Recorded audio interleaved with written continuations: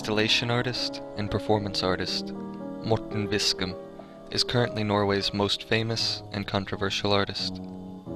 He burst onto the art scene in the mid 1990s when he created a public uproar by placing olive jars filled with dead mice onto grocery store shelves throughout Norway.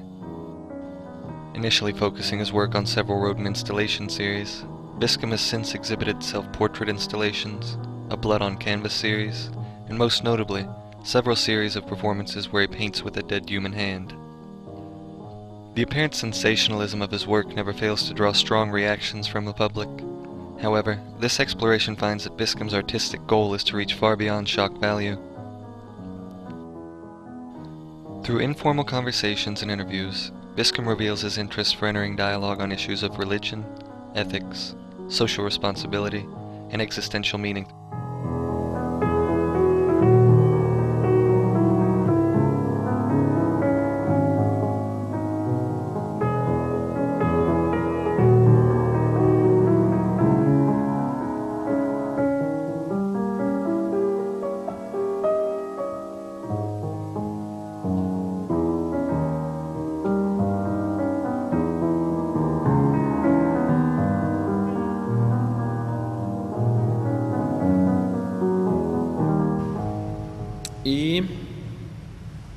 2004 så begynte jeg med et, um, et nytt kunstprosjekt som går ut på at jeg lager en kopi av meg selv.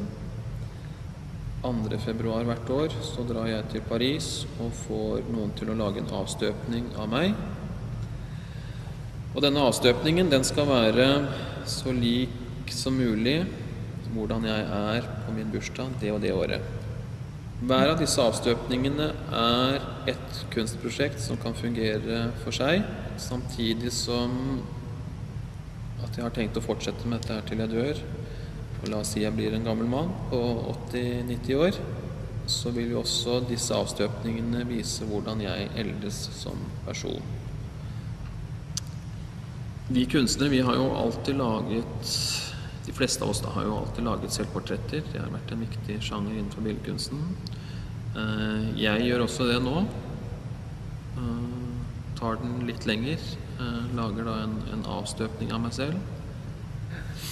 Denne kopien av meg selv som prest, den ble jo første gang vist her i Vestfossen. Og da hadde jeg 1300 par sko stående foran denne presten. Så antall sko og hvordan denne installasjonen ser ut, det avhenger av hvor den vises. Så fikk jeg utrolig nok eh, en invitasjon fra Bragernes kirke i Drammen om å vise en installasjon eller et kunstverk der. Og kom med dette forslaget om å vise denne presten og alle skoene i Bragernes kirke. Og i den installasjonen så står jeg da bak alterringen, og foran meg så er det da 700 par sko som står foran alterringen og i midtgangen.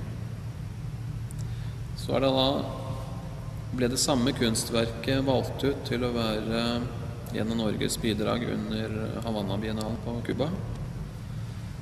Og der sendte jeg da av gårde presten i en trekasse, og så sendte jeg en trekasse med 350 par sko fordi jeg hadde fått vite hvor jeg skulle stille ut i Cuba, og der var det plass til mellom 300 og 350 par sko. Og disse skoene, de er da eh, nye, ubrukte sko av eh, god kvalitet som er laget i Norge. Og da jeg kom til Cuba og skulle pakke ut eh, disse skoene, så lukker jeg opp dette lokket på trekassen og plukker ut noen sko som ikke jeg kjenner igjen. Og det viser seg da at på flyplassen så har eh, på Cuba så har noen av de som jobber der, byttet sine egne sko med disse nye, ubrukte norske. Så begynner ryktene å gå på eh, biennaleområdet om at eh, her er det noen som har byttet ut noen sko. Og så kommer det da flere cubanere bort og lurer på om de også kan få lov til å bytte. Og så jeg at ja, det er greit. Og så blir det da faktisk kø av cubanere som ønsker å bytte sine sko med disse nye. Og til slutt så blir det sånn at jeg får At alle skoene blir byttet. Så tilbake igjen til Norge så har jeg da fått 350 par cubanske brukte sko.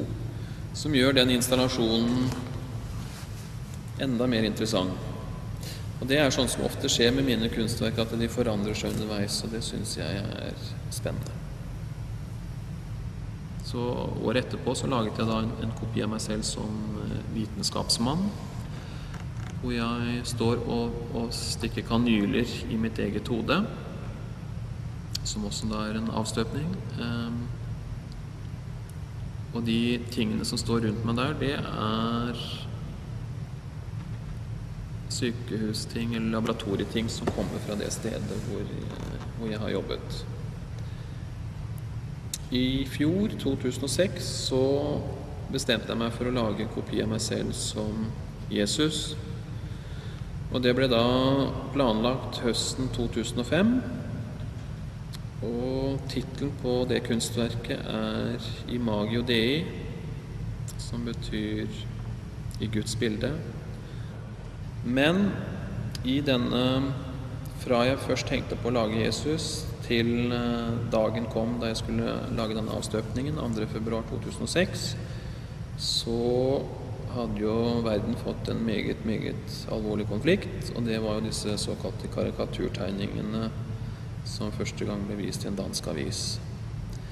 Og senere trykket i norsk avis også. Og det gjorde jo at um, i slutten av januar, begynnelsen av februar eh, i 2006 så ble plutselig dette kunstverket mye mer aktuelt enn det jeg kunne forestille meg.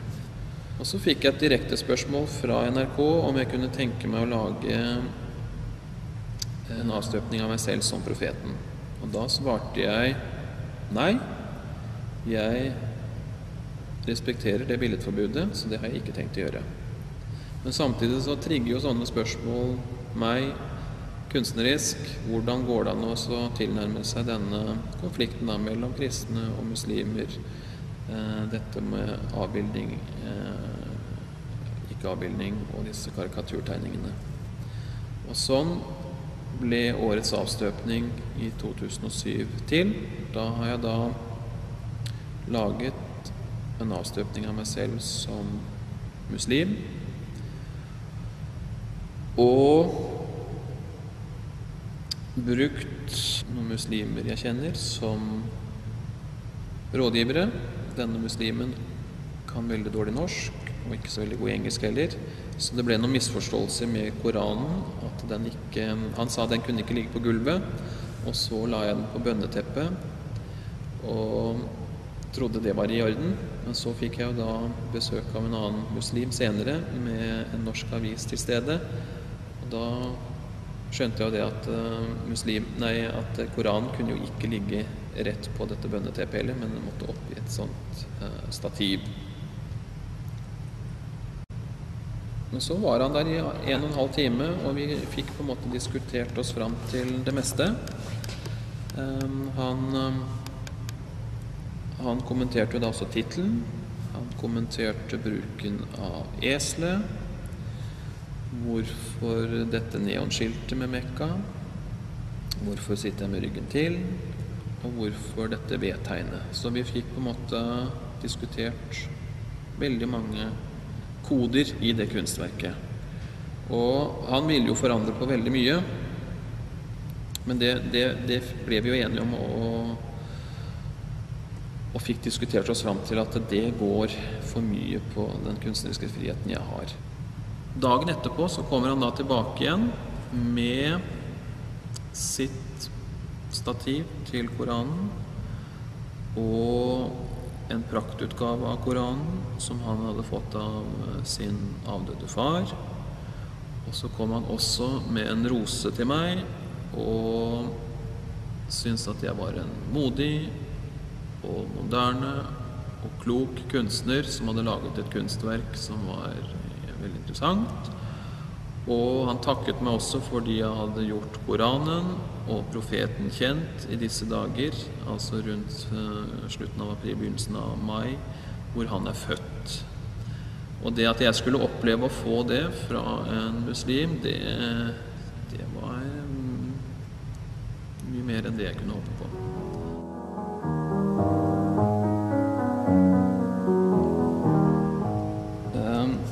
Denne serien med kjærlighet fra Gud, den fikk jo veldig stor oppmerksomhet da den kom i 1997. Ehm, det var mange som trodde at dette handlet om blasfemi.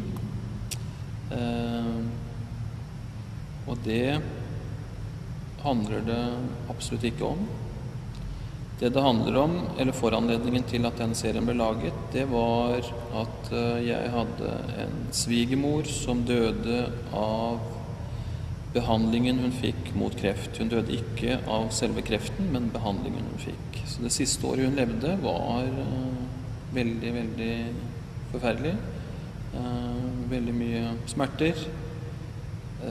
Trist, en trist avslutning på et liv. Og i hennes bisettelse så sang vi en veldig kjent salme som brukes ofte i, i Norge, i hvert fall, under begravelser og bisettelser. Og den heter 'Kjærlighet fra Gud'. Og da jeg satt i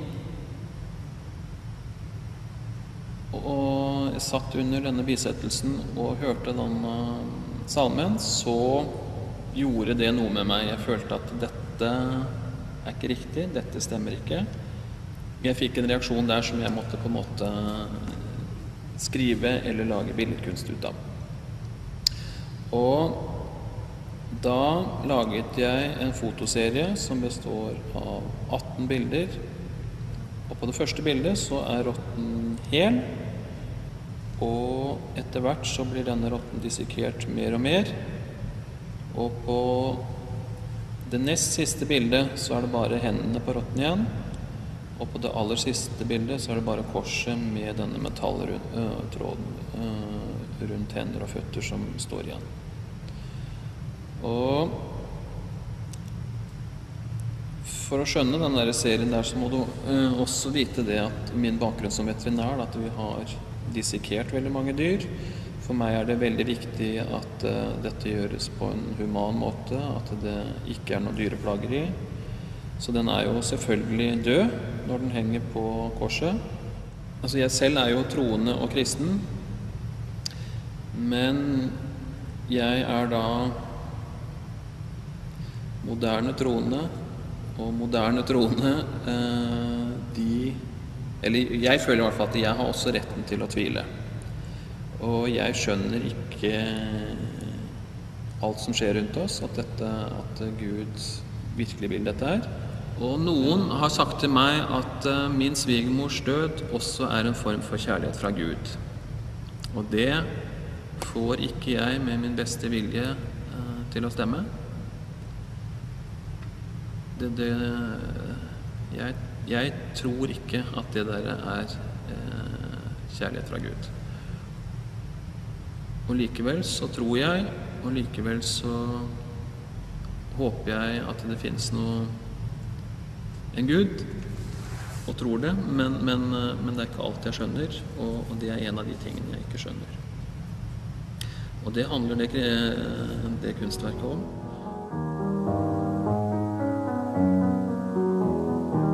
Da jeg gikk eh, siste året på Kunstakademiet, så hadde jeg en eh, gruppe med skoleelever på besøk i atelieret mitt som spurte meg hvorfor bruker du bare døde dyr i, kunsten din? Og da svarte jeg, uten å ha tenkt meg spesielt godt om, at det er fordi det er uaktuelt å bruke mennesker. Og akkurat når jeg sa de ordene, så skjønte jeg at dette her kanskje ikke var sant. Og fra den dagen så var jeg på jakt etter menneskeorganer. Og via noen omveier som er meget, meget spesielle, men som jeg ikke kan fortelle om enda, det det kommer om noen år, så, så blir det fortalt hvorfor og hvordan jeg har fått tak i denne hånden. Eh, mens det var slik da at jeg fikk tak i en død menneskehånd som har tilhørt en mann på over 60 år. Og noe mer forteller jeg ikke om bakgrunnen til den hånden. Og da jeg fikk denne døde hånden på atelieret mitt, så var det veldig spesielt. Det var eh, rart å tenke på at jeg hadde et menneskeorgan i atelieret mitt. Eh, den lå i en bøtte med formalin som ikke var gjennomsiktig. Så tok det faktisk et halvt år fra jeg fikk denne døde hånden, til jeg var moden og klar for å, å ta den i bruk. Det var en veldig lang prosess med å bestemme seg for at dette her var greit. Og da jeg tok fram denne døde hånden, så begynte jeg å lage noen veldig enkle skisser. Og etter hvert så laget jeg flere eh, malerier som fikk sånne karakteristiske striper som du ser på maleriet i bakgrunnen her. Og så viste jeg denne maleriserien til det galleriet jeg ut, eller stilte ut i Oslo, og spurte om dette her var noe de kunne lage en utstilling om. Og han som driver galleriet, han kommer fra en kristen familie, så han uh, var, um, var, litt i tvil. Han ville gjerne spørre noen prester i familien om dette her var i orden. Og det gjorde han, og presten sa ja, livet er kort, så det må dere gjerne gjøre. Og da ble det laget en utstilling i Oslo som het 'Hånden som aldri sluttet å male', med en rekke store og små malerier med den teknikken der. Og så lå den døde hånden i et metallskrin, og så kunne publikum selv velge om de ville se den døde hånden eller ikke. Og da er det ofte som det, det er med mine utstillinger og, og kunstprosjekter. Delte meninger. Eh, og det er også noen satte veldig pris på at hånden var der, og at de kunne se på den.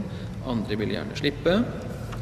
Eh, men alt i alt så gikk den utstillingen veldig, veldig fint i Oslo.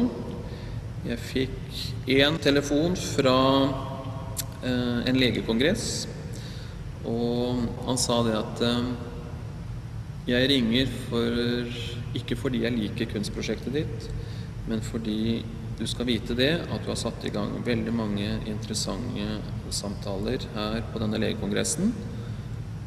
Og det var en, en, en, veldig positiv respons for meg å få, fordi jeg håper at mine kunstprosjekter også kan være en del av samfunnsdebatten, at den kan diskuteres på helt andre plan enn bare i den interne kunstverden. Og Hvis jeg lager et kunstprosjekt som også blir eh, diskutert på en legekongress, så syns jeg det er interessant.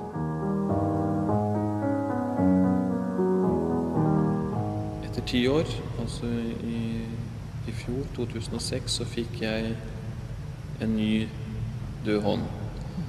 Og den maler på en litt annerledes måte, så den får ikke disse karakteristiske stripene. Den, den, maler på en litt annen måte. Og det er jo selvfølgelig jeg som, som styrer det og bestemmer det, men jeg, jeg følte at um, den måtte gjøre noe annet enn den første hånden.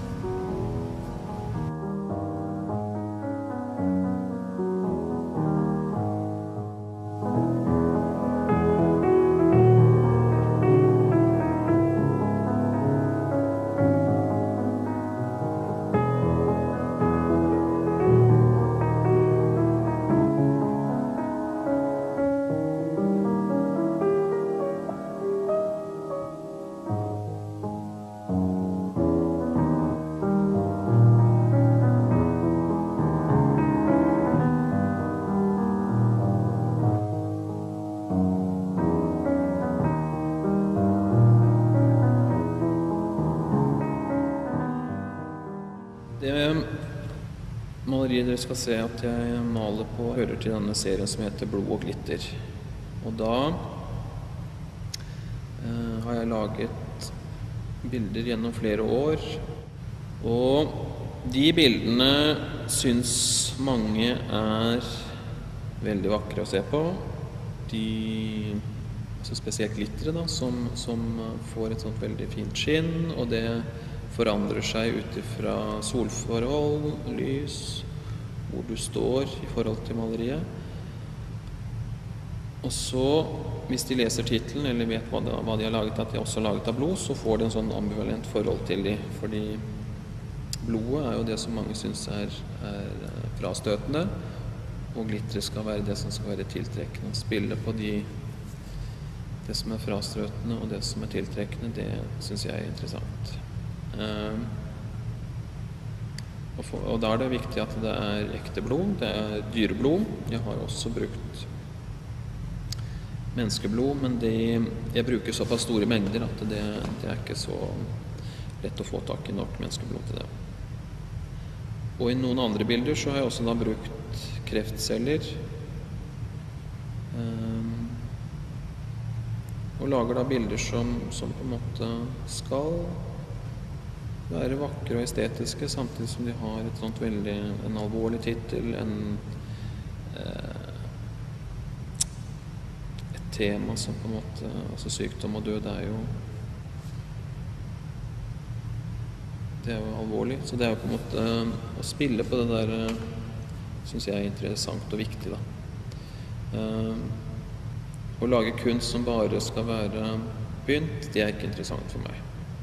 Jeg må lage bilder som bringer tankene videre.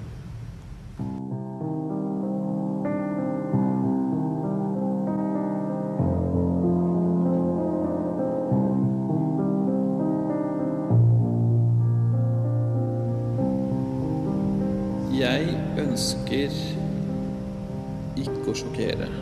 Uh, og den derre sjokkeffekten, den er veldig kortvarig, og den er veldig kjedelig, og den er på en måte veldig lett å få til, men den forsvinner like fort.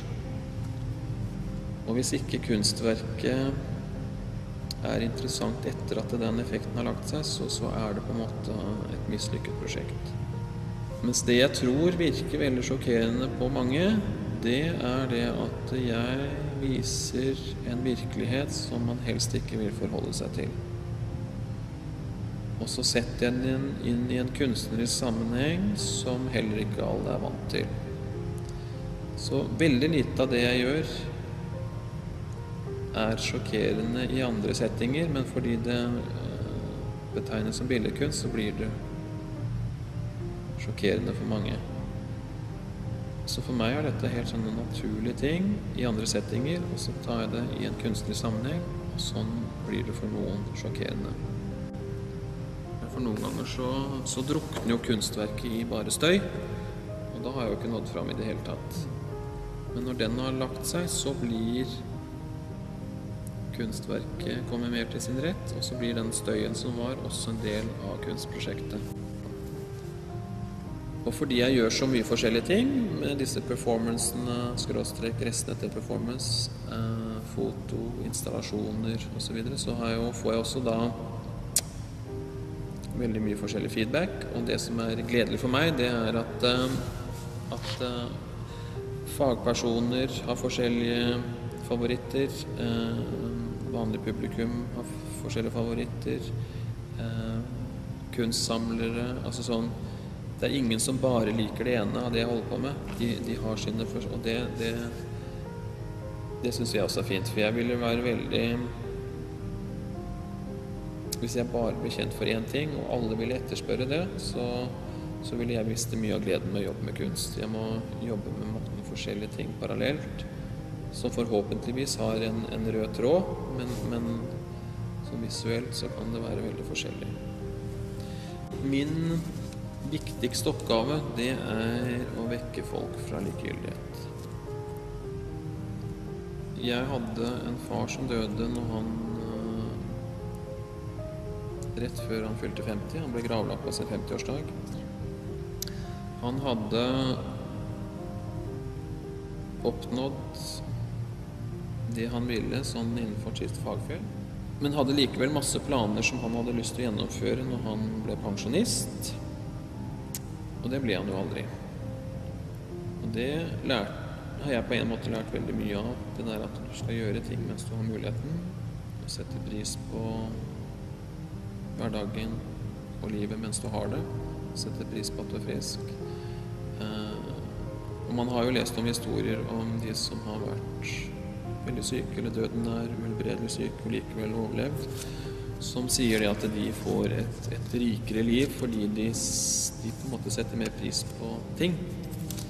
Og litt av det samme håper jeg at uh, mine kunstprosjekter også kan være med på sette ting litt sånn på dagsorden.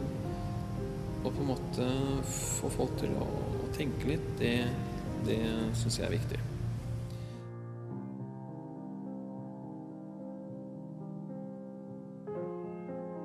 Det jeg håper denne døde hånden skal gi bildene mine, da, som ikke en, en, vanlig levende hånd, eller min hånd, eller en pensel vil gi, det er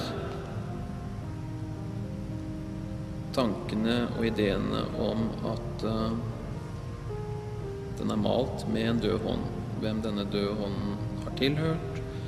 Uh, at den skal minne oss om at livet er forgjengelig. Um, og det er litt av mitt ønske også om at uh, jeg lager ikke malerier i utgangspunktet. Jeg bare viser fram rester etter en performance.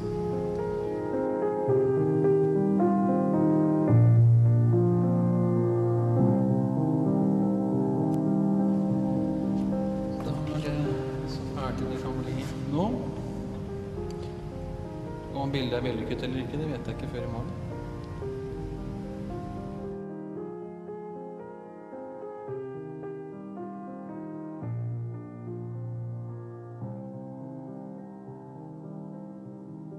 Jeg håper ikke at uh, kunsten min uh, bare oppleves som at det er kunst om død og, og sykdom, men den handler like mye om, om livet og sette pris på det.